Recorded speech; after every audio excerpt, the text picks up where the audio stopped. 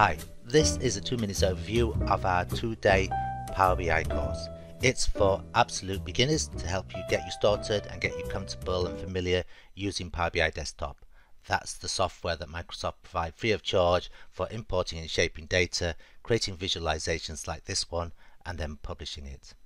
Our focus is to get you comfortable. We've got lots of different uh, small data sets and we'll be visualizing all of those. For example, this one here is about a fuel efficiency of American cars in the 1970s, but we may also have a look at uh, scraping, for example, the English Premier League dataset and from a website and creating this chart of the Football League table or we may look at property sales in uh, a part of London. So again, small simple data sets, lots of variety, lots of practice.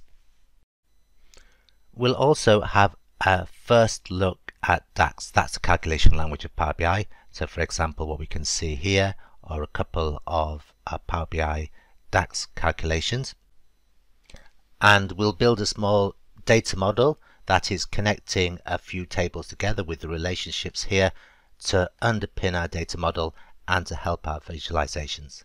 Finally, we'll clean some data in the Power BI's query editor, clean it, shape it, transform it so it's ready for visualization. So for example here, we are merging a couple of tables.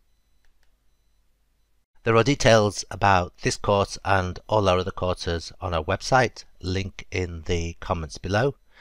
Do get in touch if you're interested in organising a course. We can do it in person or virtually.